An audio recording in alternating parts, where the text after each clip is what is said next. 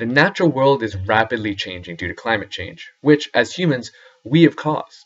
Now, I firmly believe that climate translocations should be considered a viable conservation strategy in certain cases, but not for all.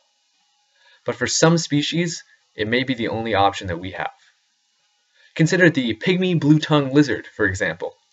Now, in 2012, it was the subject of a study by Australian scientists, and I'll give you the title of that study, but it would take a minute and a half for me to recount it, so just check my assignment 7 post.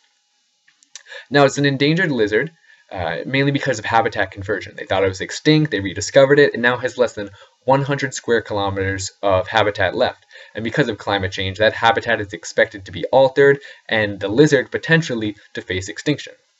And because of its one, low dispersal rate, and two, its relatively high longevity, it may be a candidate for climate translocation. So the goal of these scientists was to discover if, in fact, that was true. So they have these models that they construct with climate and population.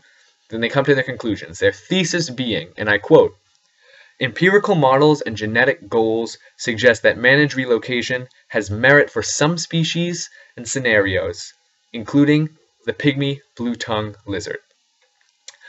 Now let's dive a little bit deeper into that. So they have habitat submodels with climate as the main factor, habitat submodels with the grasslands as the main factor. One says that the lizard will face extinction, one says that it won't. So it's not a statistical certainty that in the climate change scenario that we're about to face, this lizard will go extinct if no action is taken. But we can generally say that it's very probable. But the part that I found the most interesting is there was one scenario with a management strategy of putting in artificial burrows.